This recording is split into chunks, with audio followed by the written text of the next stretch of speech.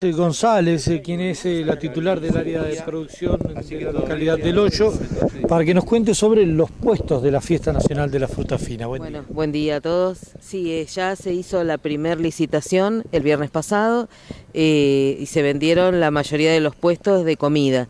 Ahora vamos a hacer una segunda licitación el viernes 21. Hay tiempo hasta las 10 de la mañana del viernes en mesa de entrada para entregar los sobres con las ofertas de los puestos que quedaron vacantes. ¿Cuáles son los puestos que están vacantes, Liz? Y los requisitos.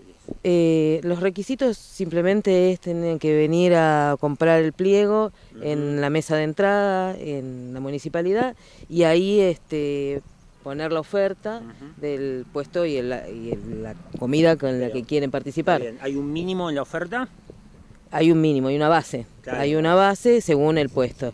Eh, hay los puestos que están libres son los de PISA, hay dos de innovación, que nosotros llamamos innovación a todo aquello que no encuadra ni PISA, ni milanesa, ni... Yaguarma puede ser. Yaguarma puede ser. Ahora hasta ahora se ocuparon de los cuatro... De, los cuatro de innovación se ocuparon dos, uno con sándwiches de, de bondiola y el otro con rabas. Bueno, eh, entonces reiteramos, hay tiempo hasta este viernes, ¿se tiene que presentar en el municipio? Sí, se tiene que presentar en sobre cerrado la, la oferta que, que, se hace y hasta las 10 de la mañana. A las 10 de la mañana cerramos la, la recepción de, de, los puestos, de los sobres y vamos a la Casa de la Cultura a abrir los sobres en forma pública. Eh, Liz, a partir de, bueno, la fiesta empieza el 11 de, enero, pero ¿qué día ya los eh, oferentes que hayan adquirido el puesto pueden comenzar a armarlo, a delinear cuándo va a ser la primera reunión para ir eh, viendo cómo se va a armar toda esta situación? Bueno, ya cada, cada puesto tiene asignado un lugar y la gente la semana antes empieza a hacer posesión del lugar y a adaptarlo a las condiciones, a las necesidades que tienen cada uno para elaborar la comida. Eh, ¿Tienen garantizada la electricidad, el agua potable, algún tipo de puesto ya específico? Sí, todos tienen eh, la estructura, el, el agua y la luz. Hay que poner la materia prima y las ganas de trabajar. Exactamente. ¿Cuántos puestos en total eh, se venden? Y son más de 100, porque hay algunos que son libres, que vienen los estanes de libres son los de waffles, eh, de helados y los puestos que vienen de promoción. ¿no?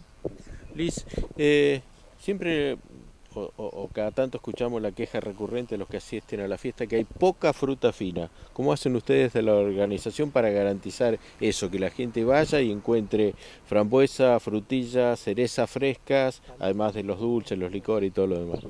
Bueno, para eso tenemos 12 puestos que son no, 18 puestos, que son especialmente para licuados y venta de fruta, torta, torta con helado, con crema, además de los a veces hay algunos que en los puestos de artesanos venden dulces de fruta y, además está eh, hay un, lugar de la, de la Asociación de Productores del Hoyo y otro lugar para la cooperativa agrícola para el O42, así que tratamos que estén representados los productores porque es su fiesta. Exacto. Vamos a lo importante, patio cervecero, ¿va a haber?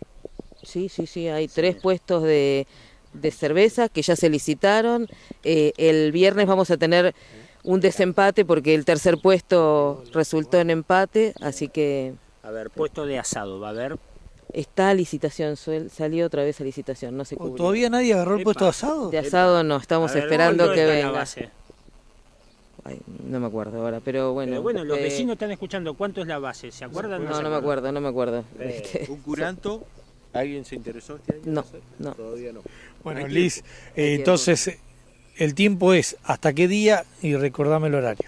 Hasta el viernes 21 a las 10 de la mañana hay tiempo para presentar la oferta en la municipalidad. Los pliegos se pueden retirar antes. Los pliegos se pueden comprar antes, cuestan mil pesos y tienen que comprarlo acá en la municipalidad. Muy bien, muchas gracias. ¿eh? La palabra de Liz González.